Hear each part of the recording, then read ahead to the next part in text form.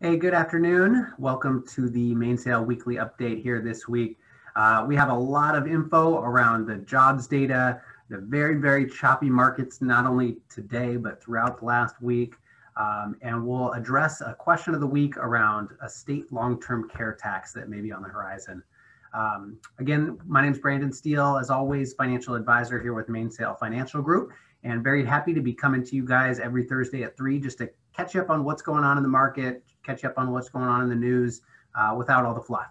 Um, if you are like me, hopefully, especially if you're here in Washington State, you're enjoying this kind of glimpse of of spring that we're starting to see. Hopefully, this is kind of the start. Things start getting warmer and we start to see a little bit more sunshine. Uh, yesterday was almost 60 here and it, it felt amazing. So hopefully you're enjoying that. Um, let's get right into it. Last week on Friday, we had quite a bit of, uh, of data come out. We had personal income, which was up about 10%. Uh, so that's a good sign. Obviously, the jobs are not there, but it's good to see that you know that that the income is rising. Uh, and then we had core inflation come out at 0.3 percent, which I thought was really interesting. Uh, and we're going to talk more about some Fed comments here in a little bit that came out today. Uh, but as as those who know us know, we have been following inflation for a while, and it's actually been here. We've all felt it, but the numbers would not necessarily show that because there are things in the measure of inflation that we're not really spending money on right now. Um, however, you know, you go buy some lumber and uh, let me know if there's, you know, if there's any inflation baked into where we're at right now. So this is the first time we've seen it uh, kind of start to creep up. I believe if I remember right, last month it was about 0.2%. Uh, and I think it's something that's going to keep going. Um, again, I will touch a little bit on Fed Chair Powell's comments on inflation here in a minute but I think we're seeing it. The numbers are showing it. That's not a high inflation rate, but you know, again, it's interesting to see those numbers actually start to creep up a little bit. And I think we're seeing it in other areas that we might actually feel a little more day to day based on where we're spending these days. Uh, this week, just yesterday, Wednesday, we had ADP employment reports come out. So jobs data is like a big, big factor here in the, the markets this week. ADP employment report came out and we only added 117,000 jobs in February. That's it. 117,000 jobs were added. You know, a year into the pandemic, uh, still so many unemployed, and that's all we're adding in a monthly basis for jobs. It is not good. Hopefully that changes here soon. You know, I feel like I've said that for so long, and we just haven't seen much improvement. Um, obviously, it's going to taper off, right? We've had a huge run up in jobs, uh, getting in people getting back to work, but now we're just kind of hitting this plateau, and it's not really moving anywhere. You know, I think maybe as vaccines roll out, states start opening further and further. Hopefully, that will change. Today, we had initial jobless claims. The number came out at 745,000. Not much of a surprise, really. There, nothing, you know, too far off the expectation. But the big news two pieces of big news data was number one, uh, last week we talked about the 10 year treasury measure of interest rates getting close to 1.5%. Big news this week, it hit 1.5%, exceeded 1.5%. And on top of that, uh, well, actually, what drove that was some comments from the Fed.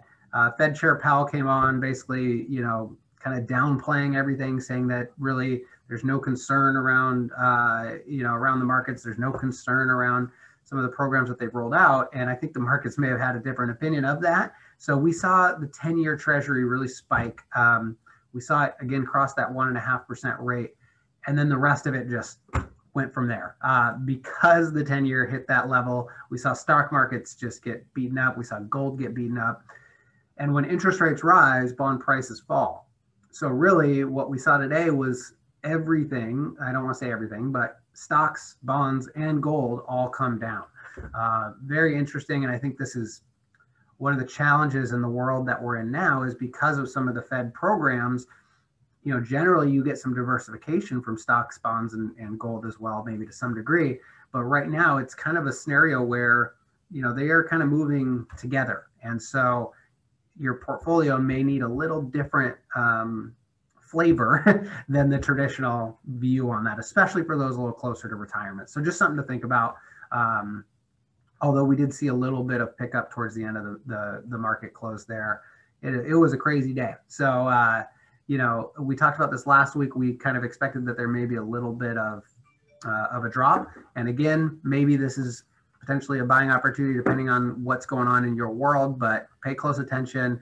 This may not necessarily be it either, so it'll be really interesting to see what happens in the coming days or week ahead of us here.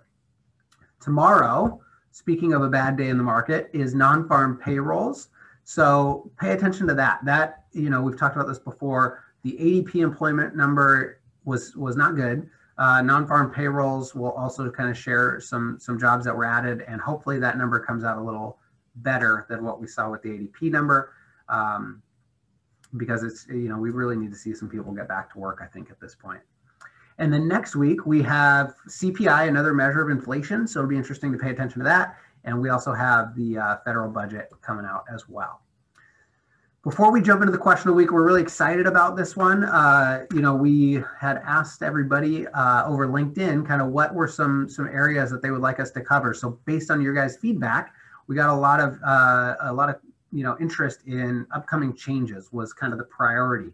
We'll also talk about some of the others around taxes and investing strategies as we move forward. But that was the the top uh, top question. So if you have any questions for us, you can email us directly, info at mainsailfg.com, or just let us know. Go ahead and comment right below, and we'd be happy to address some of those questions next week. But as far as changes on the horizon, so the question of the week this week, what I want to bring up is the potential for uh, what's called a long Washington State Long-Term Care Trust Act. So believe it or not, uh, we talked a couple weeks ago about potential long-term gains tax. There's another bill that may add an additional income tax as well that would be designed to help pay for long-term care costs. Uh, you know, basically, I think it's about a 0.58% uh, tax that would be associated. So, for instance, if you're earning 100,000, you know, 580 bucks a year, uh, if you do have personal long-term care insurance, you can actually opt out of that tax, uh, and I believe self-employed can as well. But otherwise, it's it's a tax that is going to be um, implemented if this if this gets passed, and again, it will be designed purely for long-term care costs. Obviously, this is something that's become a huge issue. It's become something that is extremely, extremely expensive.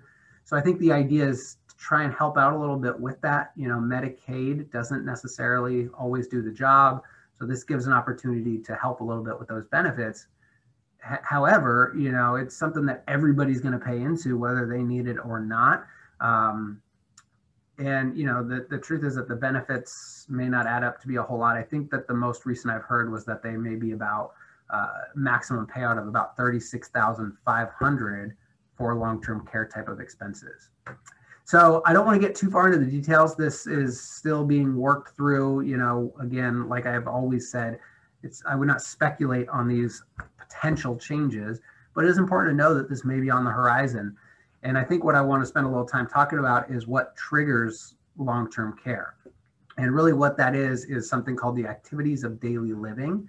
So there are six of them, um, you know, think toileting, bathing, uh, you know, uh, mobility, those types of things. And essentially, if you're unable to perform three out of the six, you would be eligible for those benefits after also paying in for a certain period of time. So long-term care has become one of the bigger risks that are out there uh, for retirees, which I think is why we're seeing this.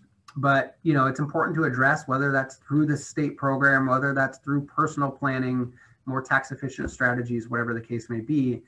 You know, obviously, it's it's getting to a point where it's a concern for the state too, and so um, you know, I just wanted to kind of point out that this is something that may be on the on the horizon and something to consider, uh, and, and, how that might impact you.